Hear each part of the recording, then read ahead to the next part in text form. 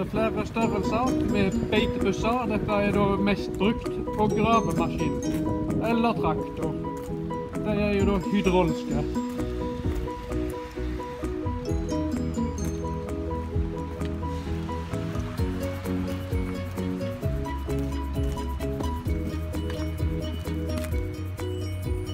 Det er to slanger vi kobler til her da.